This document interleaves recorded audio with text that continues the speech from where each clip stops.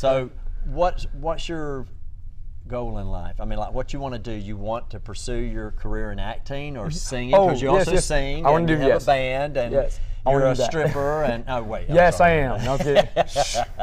well, uh, yeah, but I do want to go into film and He's be. not really. I just said that.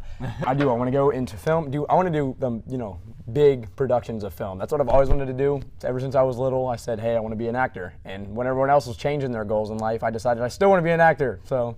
You like it. I love it. I lo- I love You it. You really, really surprised me because when you came here for the interview, the first thing you said to me, you said, I want to be Ryan Smith. Mm-hmm. And I said, no. I said, he's a major character. I don't even see anything that you've done that, you know, can prove that you could carry a, a major role. I'm being serious. Mm-hmm. I believe you. And, well, I said that to you. yeah, I, I, That's no. why he believes me, because I really said that.